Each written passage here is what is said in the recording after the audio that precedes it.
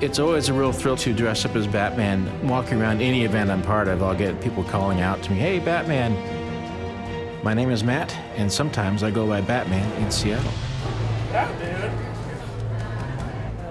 Well, in the cosplay sense, I've been doing it since about 2010. I was doing Batman as Halloween for years before that.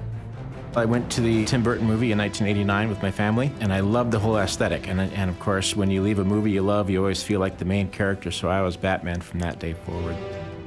Batman was always kind of a Halloween costume for, for a few years. When Batman Returns came out, I got some more stuff and upgraded some stuff and had another Batman costume. And so it was always really just a Halloween costume for the most part until cosplay came along, Comic Cons and all that kind of stuff.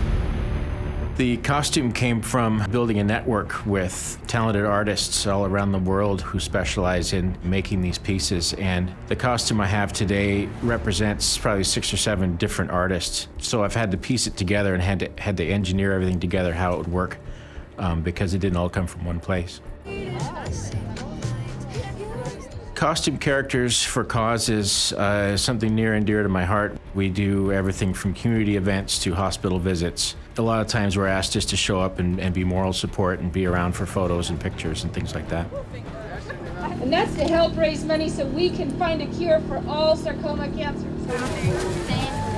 I had the real honor to be invited along with the group to participate in the Dragon Slayer Walk. So costume characters for a cause, they come out to many nonprofit organizations. Today they're here with the Northwest Sarcoma Foundation. They're out here posing with some of our supporters and they join in the fun and create a lot of uh, hype and spirit for us.